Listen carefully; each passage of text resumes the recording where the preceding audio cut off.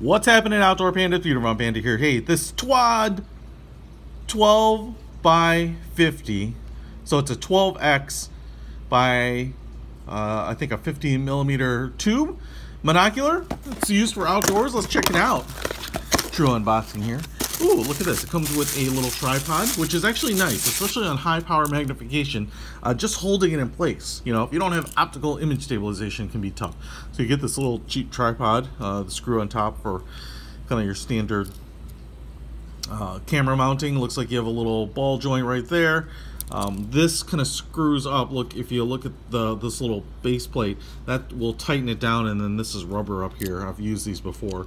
And then you use this to kind of tighten uh, and uh, press this, kind of hold this um, little tower piece in place. So you loosen it up and it'll move around, you tighten it down and it won't, just like that. And then you have three little legs, like any tripod that pop out, and I think they have little extensions right there. I've used these in the past, they're pretty nice. Probably the, the worst part about these is that these legs kind of collapse under pretty um, pretty lightweight sometimes, so you're kind of usually used to for you're forced to use it in this kind of configuration. But that's pretty cool. Comes with that. And then in here, looks like we also have instructions and a little microfiber cloth. And then in here we have the monocular. As you can see, it's kind of about the size of I don't know, a little smaller than a Coke can. It appears to be. It comes in like this little fake velvet uh, pouch.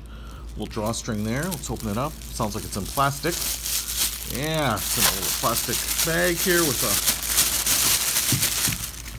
a, a silicone gel. All right, so boom, there she is. It looks pretty cool.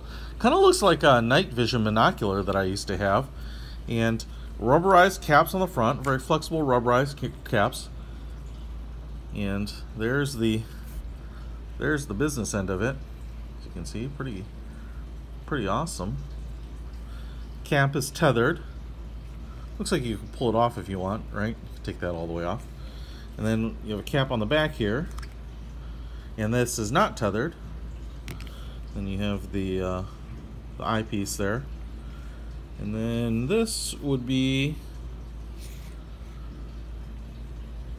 Yep. Okay, so this rotates so you can have some fine adjustment which will kind of change the eye relief distance for you. And then I'm assuming this is the focus. Right? So, boom, whoa. Uh, and we're probably just gonna be too close to anything to be able to use it here like this. And then is this, obviously unscrews, and I guess that is your mounting point for the tripod, should you want to do that. So must be Feels like it's not really the balance point for it, but you can certainly do that. Looks like there's a pass-through hole there if you wanted to use a lanyard with it. Let me see if I can just set it up here on the table and then we'll take it outside and try it. Okay guys, so outside shooting through the monocular, um, I've kind of dialed it in on focus. Sorry for the shakiness of it. I'm holding the monocular up in my iPhone just to the eyepiece, so hardly an ideal um, setup here, but just kind of want to show you what it looks like as I kind of pan around. Um, I There's an opening between the trees there to some trees further back, and I can't do the adjustment on the focus here, but um, you know, pretty clear, and uh, what's impressive is I can see the detail of the leaves, and even like the pine needles there.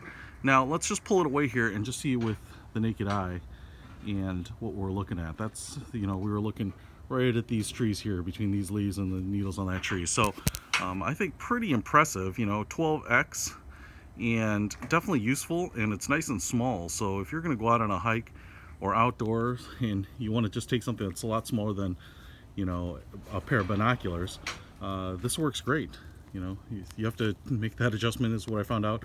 And then this works great for just kind of being able to adjust the focus with the thumb. So really really cool piece. Um, I'm pretty impressed with this thing. I'll put a link to it in the description. Peter Von Panda out